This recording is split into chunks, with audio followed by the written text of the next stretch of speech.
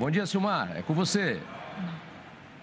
Muito bom dia, meu caro Otávio. Bom dia aos nossos amigos do canal Terra Viva. Bom dia a todo o pessoal que está participando aí da Rio Mais Agro. Uma, um evento especial, uma semana inteira de evento, hein? O Rio de Janeiro entrando firme, com o pé direito aqui no agronegócio brasileiro. O Rio não tinha muita tradição nessa área, agora, pelo menos a nível de eventos aí, levantando possibilidades de investimento no agro carioca.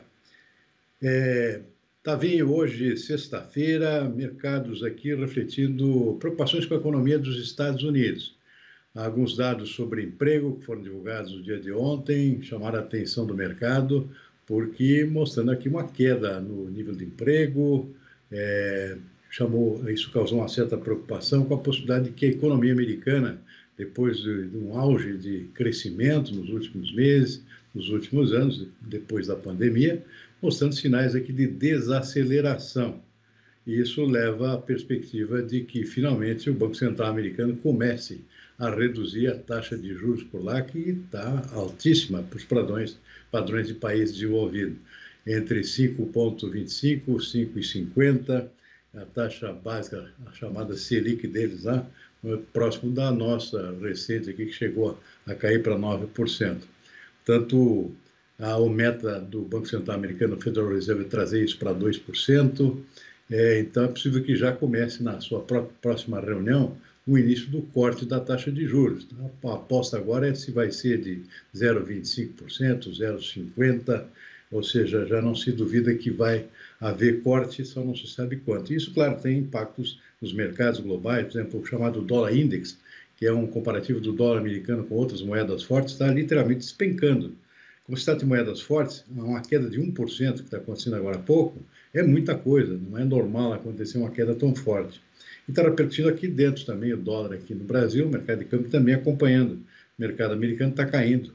A nossa cotação do dólar, 0,4%, a R$ 5,71. Não tinha subido muito, hoje retrocedendo, embora permaneça no patamar bastante elevado. Petróleo, pela mesma razão, está despencando literalmente no mercado internacional o petróleo tipo Brent, que é referência é, para o nosso aqui da Petrobras também, despencando nada menos que 2,8%, uma queda fortíssima. 77 dólares e 20 centavos o barril agora há pouco. Também tem tudo a ver com essa tendência de desaceleração da economia, a maior economia do mundo, Estados Unidos, grande consumidora de petróleo, ou seja, qualquer mudança de índice por lá, de expectativa que seja, mexe com um monte de coisa, é o que a gente está vendo nos mercados, que reflete isso de forma imediata, antes que as coisas efetivamente aconteçam. Ou seja, o mercado sempre ah, ah, antecipa tendências do que vai acontecer na economia real mais para frente. E o mercado de commodities agrícolas, esse sim, andando no seu próprio andar é, que reflete os fundamentos do setor, embora também acompanhe muito de perto as tendências da economia e do mercado financeiro. Mas hoje é sexta-feira, às vezes foge um pouco do padrão e faz com que a soja, por exemplo, volte a subir. Não estava no radar esse tipo de comportamento, mas é que o preço caiu tanto nessa semana e o mercado voltou a ser comprador. O pessoal se volta aqui aproveitando, volta ao mercado aproveitando o preço mais baixo e aí o preço volta a subir. É o que está acontecendo com a soja agora há pouco, subindo 1,2%, um alta de dois dígitos ou seja, em torno de 12 pontos acima do fechamento de ontem, uma alta expressiva. Milho também volta a subir, em torno de um ponto, por, um ponto percentual. Trigo não é diferente, 0,9% de alta na Bolsa de Chicago. É, na Bolsa de Nova York também o um comportamento positivo do algodão, 0,6%. Café arábico, que havia caído ontem, volta a subir, 0,6%. Café robusto em Londres estava estável agora há pouco, nem para cima nem para baixo. Açúcar, sim, esse volta a cair, dois pontos percentuais, o açúcar bruto negociado em Nova York, suco laranja também com pequena queda de 0,2%, cacau cai 0,1%, boi gordo no mercado futuro da B3 também recua em torno de 0,3% no contrato de setembro. Então, esse está vindo o retrato dos mercados nesta sexta-feira, final de semana, refletindo esses indicadores novos que chama a atenção, que está nas manchetes hoje, é a preocupação com a saúde da maior economia do mundo, ou seja, os Estados Unidos estão gastando muito dinheiro por lá, financiamento de muita guerra ao mesmo tempo, o caso da Ucrânia, o dinheiro vai embora, isso causa problemas, começa a afetar o próprio setor de empregos nos Estados Unidos, que vinha muito bem até há pouco, já volta a crescer para uma faixa acima de 4%, o que é bastante para a economia que estava com empregos aquecidos. A taxa de desemprego tinha caído para perto de 2%, agora voltando a subir mais recentemente. Tá bem, esse é o retrato, portanto, desta sexta-feira. Por enquanto, tem muita água para rolar ainda durante a tarde para ver se os mercados fecham nesses patamares ou ficam nesse ou mudam de, de rumo ao longo das próximas horas. Bem, siga daí. É, de rumo ao longo das próximas horas. Tá bem, siga daí. Ok, Silmar, vou pedir para o pessoal que está aqui dos Estados Unidos, tem gente aqui do Secretaria de Agricultura, enfim, tem vários americanos aqui para que levem para lá um pouquinho de água de coco, ó, que nessa aqui, ó, do Rei do Coco, que é um menino aqui que está aqui e trouxe para gente aqui, para o pessoal ver se refresca a cabeça lá nos Estados Unidos um pouquinho.